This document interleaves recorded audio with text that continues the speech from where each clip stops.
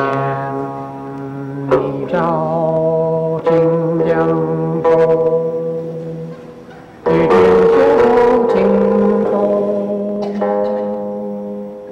Almost a year ago, um, Daryl Reese, who lived for many years uh, between New York and Hong Kong, approached me about a collaboration uh, with John Thompson, who had been studying for over 20 years the Chinese classical silk string zither called the gu qin, and also the visual artist um, Howard Finkelson, who uh, has extraordinary um, photo abstracts. I see these three elements as coming together. I hear John's music, uh, and he and I selected the pieces, uh, and these are pieces of music notated hundreds of years ago.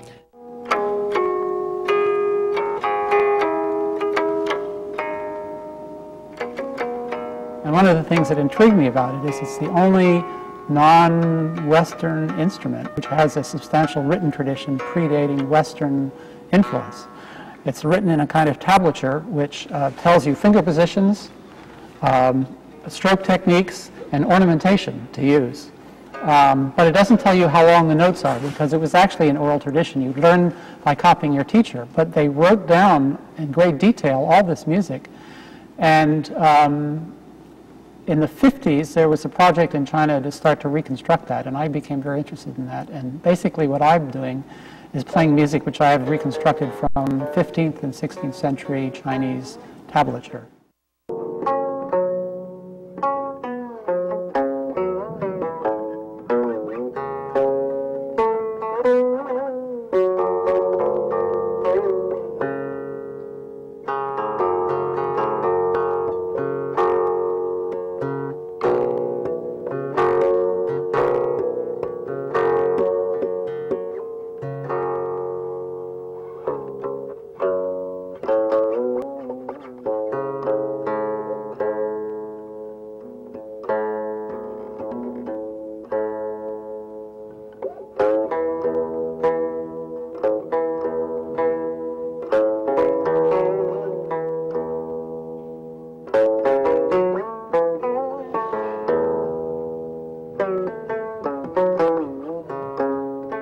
It's a fusion piece, so it's really th- three different artists. There's, there's choreography, music, and dance. Uh, originally, the uh, the um, the choreography was made to the music, and the music has a story behind it. And then at one point, the uh, the abstraction and the and the energy of the of the slide just kind of fit in, but there was no real no real. Uh, uh, I mean, yeah, we aligned the slides to a certain extent, but after a while, it just kind of kind of goes, and and and uh, the music and the dance and the motion and the visuals will sort of fit together and, uh, as, a, as one kind of a fusion unit.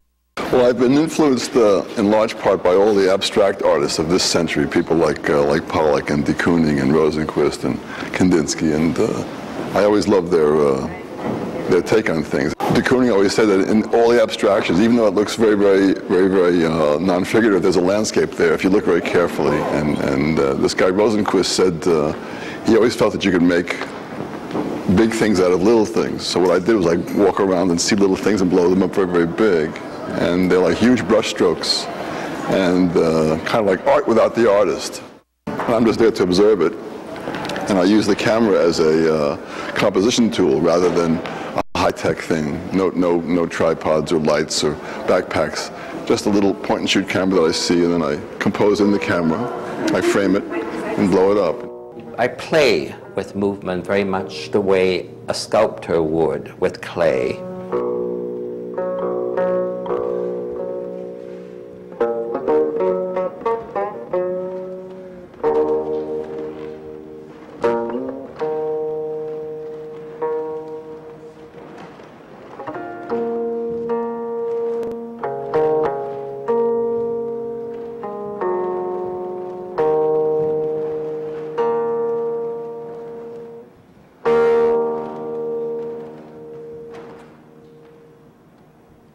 It's very interesting to me uh, to, because almost all the music I play, nobody else plays. It's a special feeling to think that, on the one hand, I'm communicating with ancients in a way because I'm playing their music. and uh, it's, it's, a, it's a quite a rare thing.